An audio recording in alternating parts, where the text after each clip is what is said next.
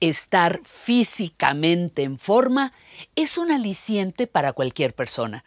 Y cuando llegamos a enfermar, el ejercicio en casi todas sus variantes puede ayudarnos a recuperar la salud. Se han realizado varios estudios en diferentes países europeos donde cada vez se encuentra más evidencia de esta afirmación. Se la digo otra vez. El ejercicio nos puede ayudar a recuperar la salud y además reduce las posibilidades de morir prematuramente. De ahí que se sugiera, además del tratamiento farmacológico y o terapéutico en cada caso, para enfermedades cardiovasculares, psiquiátricas, neurológicas, metabólicas, pulmonares y hasta cáncer. Sin dejar los medicamentos, se sugiere la práctica de algún tipo de ejercicio como coadyuvante para recuperar la salud.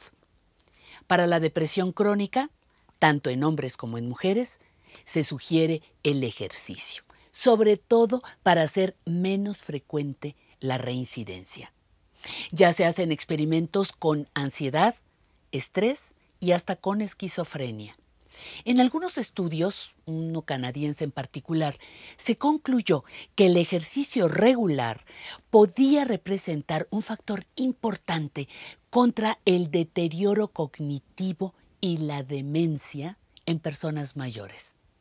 El cáncer y las enfermedades cardiovasculares son enfermedades que producen alta mortalidad en el mundo, pero se ha encontrado que con ejercicio, a pesar de la fatiga, la capacidad física reducida, se puede tener eh, una rutina sencilla y disfrutable.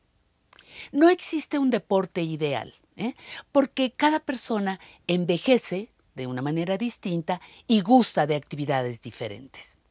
Los expertos hablan de la natación como el más generoso de los ejercicios, ya que disminuye notablemente la posibilidad de lesiones.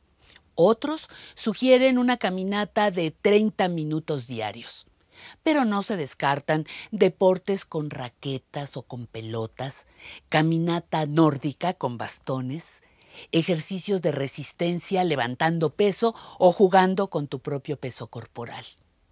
Para fortalecer nuestro equilibrio, además de músculos y huesos, se habla de yoga y tai chi. ¿Por qué hablar de equilibrio? Pues para no hablar de caídas. Entre más tiempo dediquemos al ejercicio durante nuestra vida, en mejores condiciones llegaremos a nuestra vejez. Y si somos ya personas mayores, no importa, nunca es tarde para empezar. El ejercicio ayuda a controlar la hipertensión arterial, la diabetes, el colesterol a cualquier edad. Pero cuando ya nos acercamos a la sexta década, tenemos que cuidar además músculos, huesos y equilibrio, porque fortaleciéndolos evitaremos caídas y combatiremos la fragilidad. Con ello prolongaremos nuestra autonomía e independencia. El ejercicio te ayuda para verte y sentirte bien por fuera y por dentro.